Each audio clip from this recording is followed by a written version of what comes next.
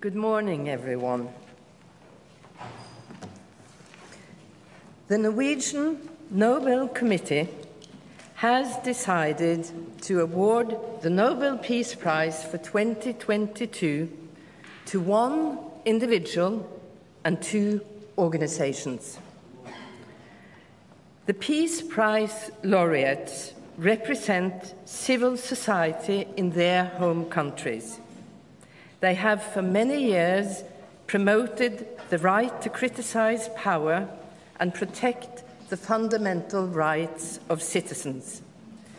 They have made an outstanding effort to document war crimes, human rights abuses, and the abuse of power.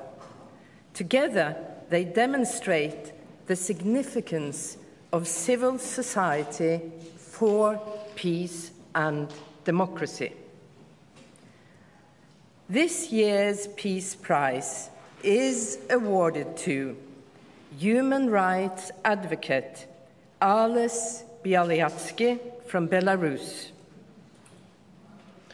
The Russian human rights organization Memorial and the Ukrainian human rights organization Center for Civil Liberties. Ales Bialiatski was one of the initiators of the democracy movement that emerged in Belarus in the mid 1980s. He has devoted his life to promoting democracy and peaceful development in his home country. He founded the organization Viasna, meaning spring, in 1996 in response to the controversial constitutional amendments that gave the president dictatorial powers and triggered widespread demonstrations. Viasna provided support for the jailed demonstrators and their families. In the years that followed, Viasna in evolved into a broad based human rights organization that documented and protested against the authorities' use of torture against political prisoners. Government authorities have repeatedly sought to silence Ales Bialiatski. He was imprisoned from 2011 to 2014. Following large scale demonstrations against the regime in 2020, he was again arrested. He is still detained without trial. Despite tremendous personal hardship, Mr. Bialiatski has not yielded one inch in his fight for human rights and democracy in Belarus. The human rights organization Memorial was established in 1987 by human rights activists in the former Soviet Union who wanted to ensure that the victims of the communist regime's oppression would never be forgotten. Nobel Peace Prize laureate Andrei Sakharov and human rights activist Svetlana Ganushkina were among the founders. Memorial is based on the notion that confronting past crimes is essential in preventing new ones. After the collapse of the Soviet Union, Memorial grew to become the largest human rights organization in Russia. In addition to establishing a center of documentation on the victims of the Stalinist era, Memorial compiled and systematized information on political oppression and human rights violations in Russia. Memorial became the most authoritative source of information on political prisoners in Russian detention facilities. The organization has also been standing at the forefront of efforts to combat militarism and promote human rights and government based on rule of law. When civil society must give way to autocracy and dictatorship, peace is often the next victim. During the Chechen wars, Memorial gathered and verified information on abuses and war crimes perpetrated on the civilian population by Russian and pro Russian forces. In 2009, the head of Memorial's branch in Chechnya, Natalia Estemirova, was killed because of this work. Civil society actors in Russia have been subjected to threats, imprisonment, disappearances, and murder for many years. As part of the government's harassment of Memorial, the organization was stamped early on as a foreign agent.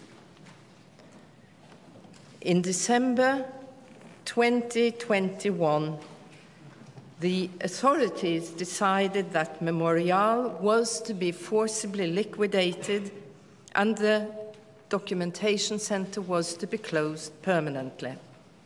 The closure became effective in the following months, but the people behind Memorial refused to shut down.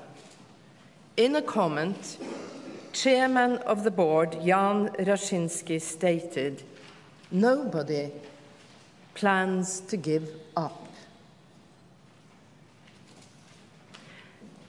The Center for Civil Liberties was founded in Kiev in 2007 for the purpose of advancing human rights and democracy in Ukraine.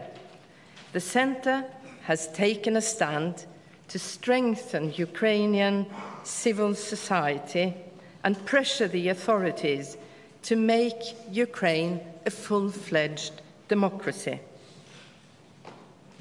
To develop Ukraine into a state governed by rule of law, Center for Civil Liberties has actively advocated that Ukraine become affiliated with the International Criminal Court. After Russia's invasion of Ukraine in February 2022, Center for Civil Liberties has engaged in efforts to identify and document Russian war crimes against the Ukrainian civilian population. In collaboration with international partners, the Center is playing a pioneering role um, with a view to holding the guilty parties accountable for their crimes.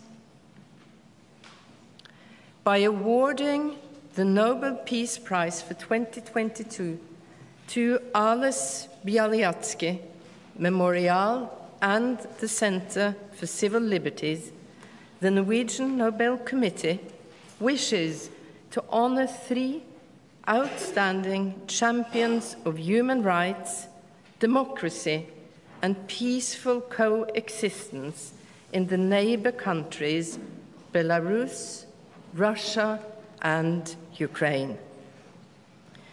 Through their consistent efforts in favor of human values, anti militarism, and principles of law, this year's laureates have revitalized and honored Alfred Nobel's vision of peace and fraternity between nations, a vision most needed in the world today.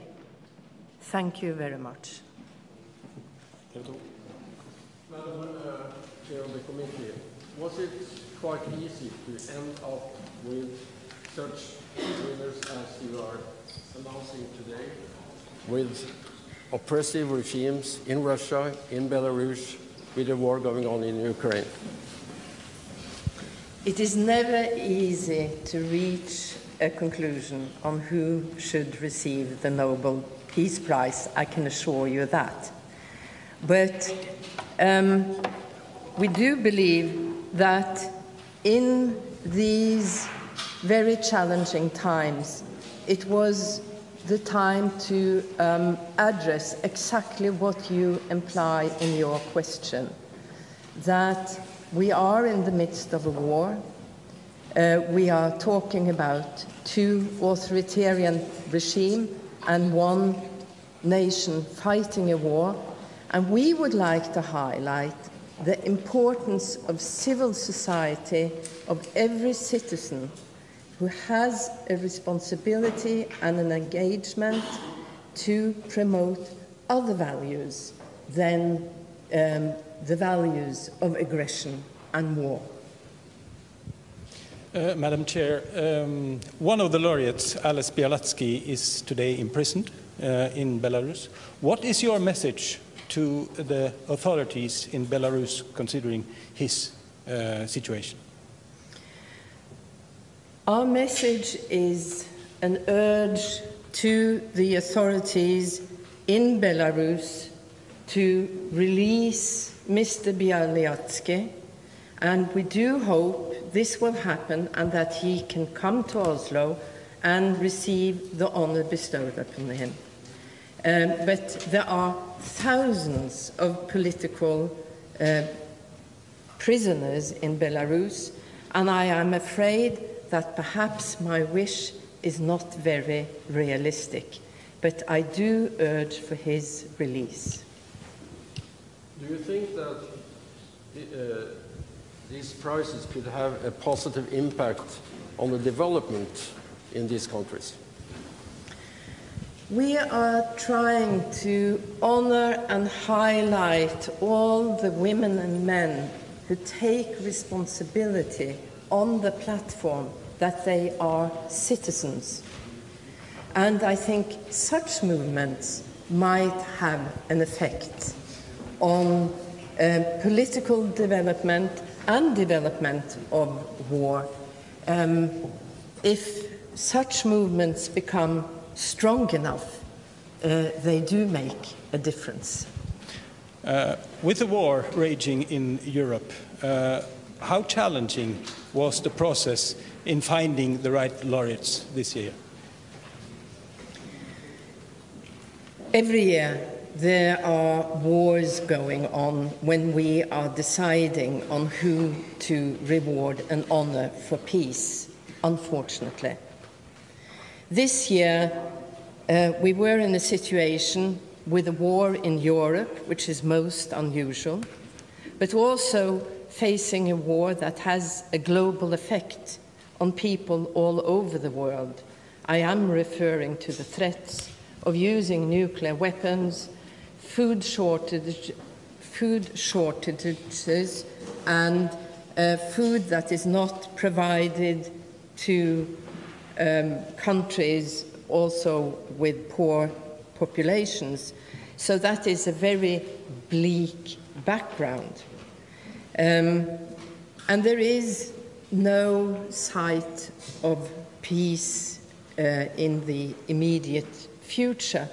So, what we would like to honour by this year's prize is the importance of the values that these three laureates represent, and also underscoring the importance of these, uh, the three nations they represent are neighbors and that they, uh, their civil societies um, have a, a joint understanding of the values that they want to promote. Civil society can always balance um, any people in power, whether it is uh, dictatorial powers or in a democracy. Madam uh, uh, Andersen. Uh, today, uh, Russia's President Vladimir Putin marks his 70th birthday. Uh, to what extent does the committee find this as a timely birthday present to President Putin? And uh, to what extent do you regard this prize as a political protest against uh, autocrats and repressive leaders? Um, this prize is not addressing uh, President Putin, not for his birthday or in any other sense, except that his government, as the government in Belarus, is representing an authoritarian government that is suppressing um, human rights activists and the attention that Mr. Putin has drawn on himself that is relevant in this context is the way uh, civil society and human rights advocates are being suppressed. And that is what we would like to address with this prize. And we always give a prize for something and to somebody and not against anyone. To what extent, uh, excuse me, to what extent do you think that this prize uh, will actually increase the risk for repression and suppression of, for instance, memorial and, and cause harm to the activists? This is a dilemma that the Nobel Committee often faces and it is something we always consider and take into consideration very seriously.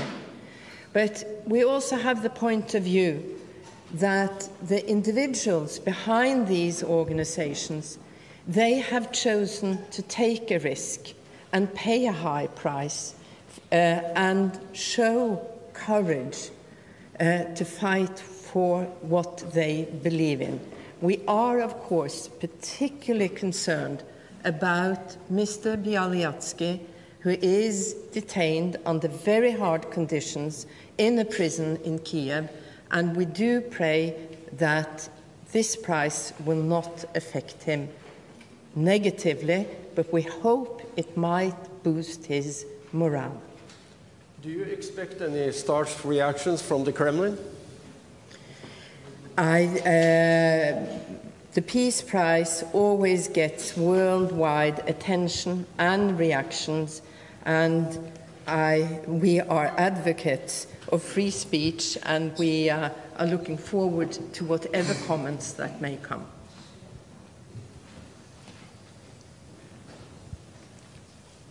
Any other questions? Da er pressekonferansen over her i Nobelinstituttet, og vi skal få et intervju med komiteens leder Berit Reiss-Andersen på rappen her. Gratulerer med